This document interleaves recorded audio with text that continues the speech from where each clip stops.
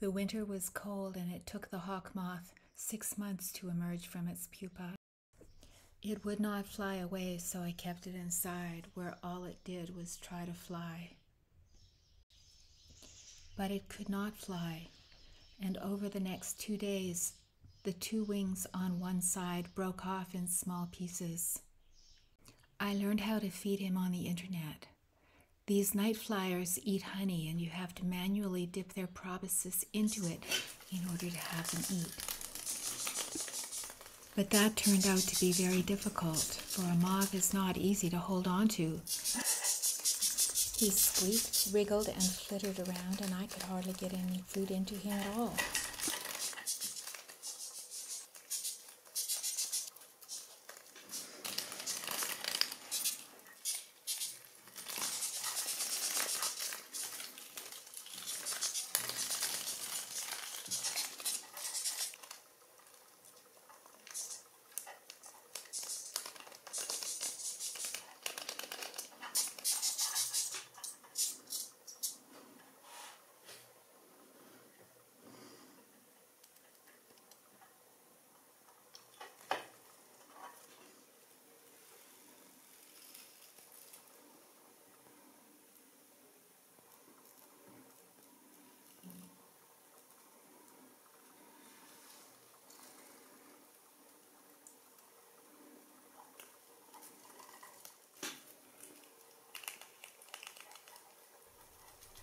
The second feeding was much easier.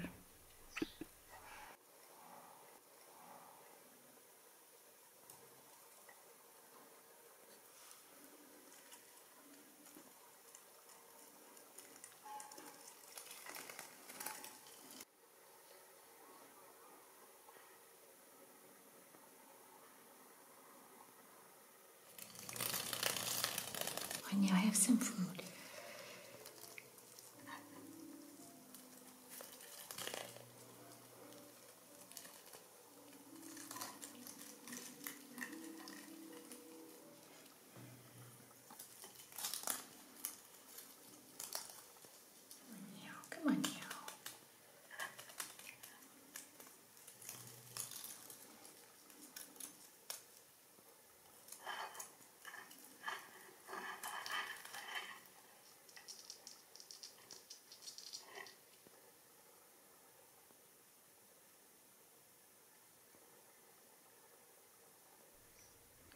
Took him a while and a lot of struggle, but eventually he seemed to enjoy drinking the honey.